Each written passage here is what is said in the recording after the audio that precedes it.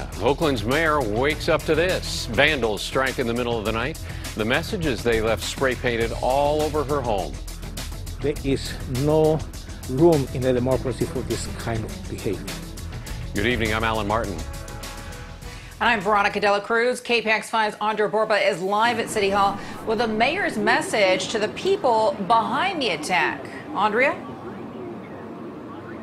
Well, Alan and Veronica, the mayor said in a statement today that the attack did not advance democracy. It is something her neighbors agree with as well.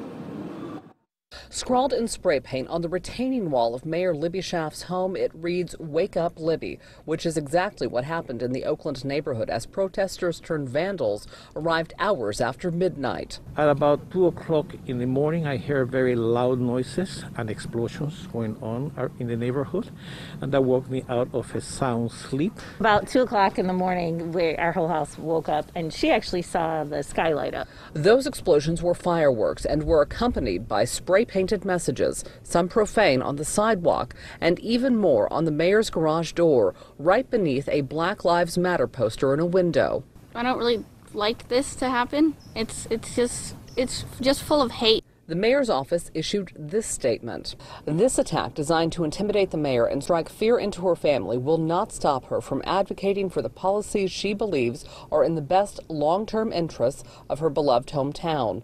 Like all Oaklanders, she supports passionate protest, but does not support tactics meant to harm and terrorize others.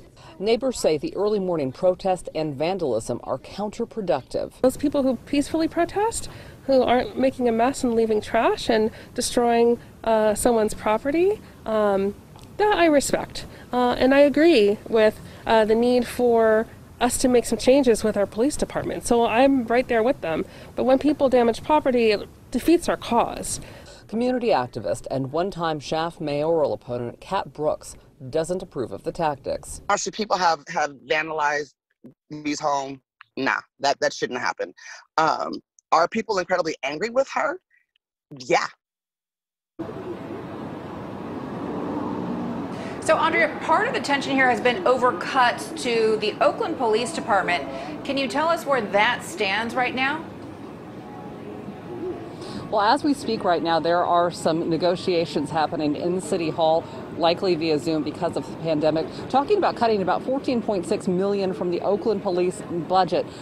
The mayor's opponents say that is uh, smoke and mirrors, that not all of that money is actually being pulled from the police budget in this move to defund the police, and that is part of the reason for the vandalism and fireworks and very early morning protest.